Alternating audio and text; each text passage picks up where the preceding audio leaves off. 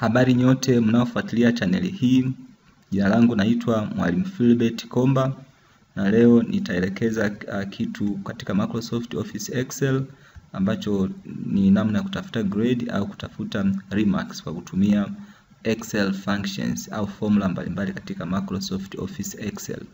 Uh, kipindi kilichotangulia nilielekeza namna ya kutafuta jumla kwa kutumia kanuni ambayo ni hii hapa, kutafuta wastani, lakini pia kutafuta nafasi au rank.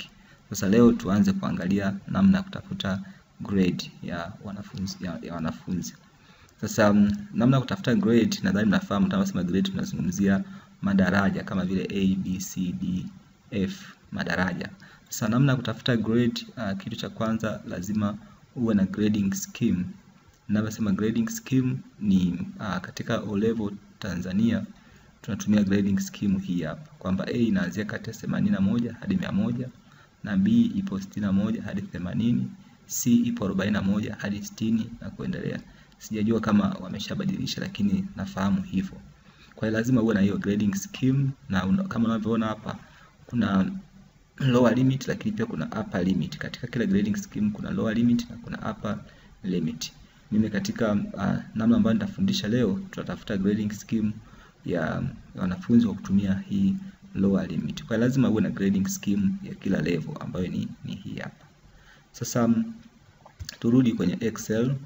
Um, tunaanza kutafuta hiyo grade na tunafahamu kwamba kila kanuni kwenye Excel inatanguliwa na alama ya sawasawa, kwamba tunaanza kuandika sawasawa lakini kitu kikubwa ambacho tunakitumia uh, kwenye kutafuta grade tunatumia function ambayo inaitwa if function. If function ina, inatusaidia kufanya maamuzi. If, if kwa kama mnakumbuka kwenye masomo yetu ya Kiswahili au Kiingereza, kwenye Kiswahili wanaita, wanaita sentensi shurutia. Kama itanyesha sitaenda shambani. Uh, isiponyesha nitaenda. Kwa hiyo ni sentensi shurutia. Kwa hiyo hata hata kwenye Excel pia yenyewe inafanya maamuzi kwamba kwa mfano kama mwanafunzi amepata kati ya hii na hii, basi huyu atakuwa amepata A. Kama amepata kati ya hii na hii, huyu atakuwa amepata B. Kama amepata kati ya alama hii na hii, huyu atakuwa amepata C. Kwa hiyo Excel pia ina uwezo wa kufanya maamuzi kwa kutumia sentensi shurutia au conditional sentences. Kwa hiyo tunatumia if. Kwa hiyo kanuni yangu naanza kuandika if. Nadhani hapa sasa unaona kwamba naandika if hii hapa, lakini nikishaandika if nafungua mabano, na nimesema kwamba natumia hii wastani, huu wastani ili kupata kupata hizo grade. Kwa hiyo baada ya kuandika if na kufungua mabano, nakuja kukliki hapa hivi. Sasa hapa nakuja kuandika, nasema kwamba kama wastani ni mkubwa au sawa na themanini na moja, basi huyu mwanafunzi atakuwa amepata A. Sasa kuandika kubwa au sawa na alama ya kubwa kuliko ni hii hapa, lakini ukitaka kuandika kubwa au sawa na unaongeza sawa sawa hapo mbele. Kwa hiyo hapo ndo umeandika kubwa au sawa na hii hapa. Kwa hiyo hapa inasomeka uh, kama wastani ni mkubwa au sawa na themanini na moja.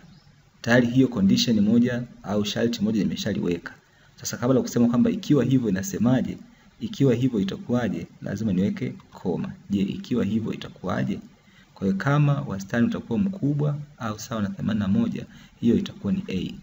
Sasa hapa kuna principle moja kubwa sana na haitakiwi mtu aisahau kwamba tunavyoandika herufi kwenye formula yote ya Excel, iwe A, iwe B, iwe C au liwe neno good, very good, excellent, herufi tunasema characters lazima ziwe kwenye double quotation mark, lazima ziwe kwenye alama za kufungua na kufunga usemi.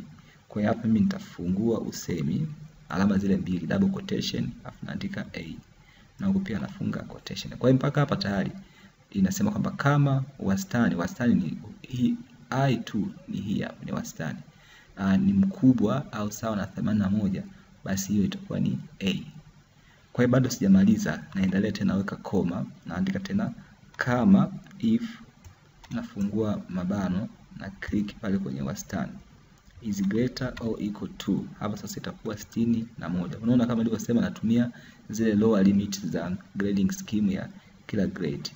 Um, ikiwa kubwa au sawa na sitini na moja, basi hiyo itakuwa ni B. naweka koma tena, naweka condition nyingine au sharti lingine. Nasema if kama wastani ambao ni huu ni mkubwa au sawa na arobaini na moja, basi hiyo itakuwa ni C. Kumbuka characters lazima ziwe kwenye quotation mark. Naendelea if nafungo mabano hii hapa, average ni kubwa au sawa na ishirini na moja, basi hiyo itakuja kuwa D, itakuja kuwa D. Naandika hapa D.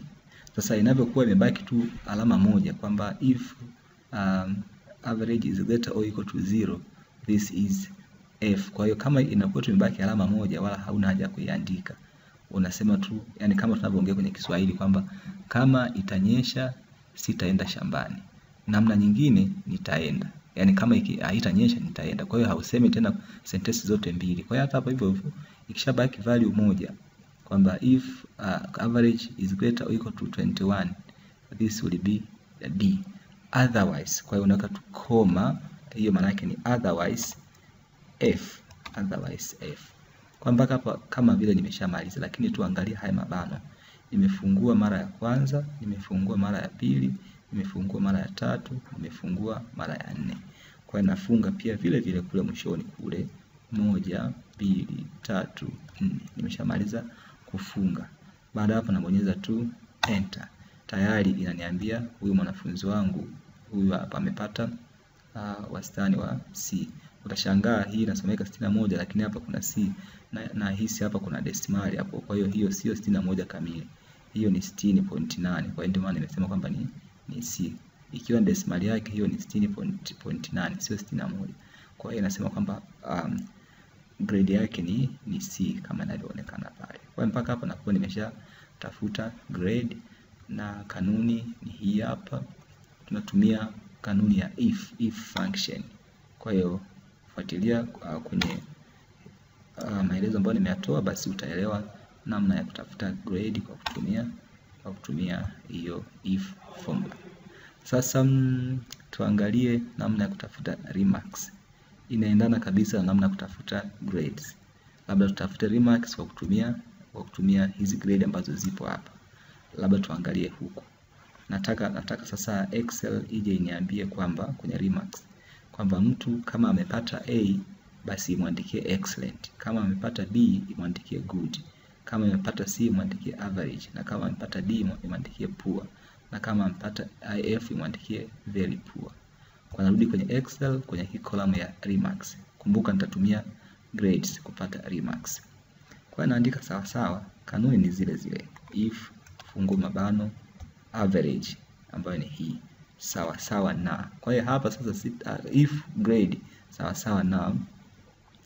Sasa hapa sitaandika kubwa au sawa na, kwa sababu herufi huwezi kusema kubwa au sawa na a, haiwezekani. Kwa hiyo if grade is equal to a, kumbuka a ni character, lazima iwe kwenye quotation mark. Ikiwa sawa sawa na a, je, isemeje? Iseme um, excellent Ex, excellent yeah. Kumbuka neno excellent ni characters na sheria inasema kwamba lazima ziwe kwenye double quotation mark, na hiyo a pia ni character, lazima iwe kwenye double quotation mark. Koma, nasema tena kama nafungua mabano grade ambayo ni hii hapa ni sawa na b, kumbuka b ni character, ni sawa na b, basi hiyo ije iseme good. Good pia ni character. Nasema tena kama nafungua mabano grade sawa sawa na C, basi hiyo ije iseme average.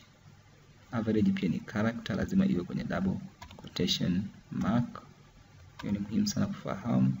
Alafu niseme if nafungua mabano grade ambayo ni hii hapa sawa sawa na D, D ni character, lazima iwe kwenye double quotation mark, basi hiyo itakuwa ni poor, itakuwa ni poor. Sasa imebaki value moja kama nilivyosema mwanzoni kwenye grade. Kwa hiyo sina haja tena kusema kwamba if si kama ni F iseme ni very poor, nasema tu otherwise. Unaweka tu ina, inaweza ikamaanisha otherwise uh, very poor, very poor. Nafunga usemi tena. Kila alama hapa ni muhimu. Mkato, fungua na kufunga usemi ni muhimu. Ukisahau moja, basi ujue haiwezi kufanya kazi vizuri, yaani haitakubali. Kwa baada hapo, nimefungua mabano mara ngapi? Moja, mbili, tatu, nne. Pia nafunga mara nne. Moja, mbili, tatu, nne.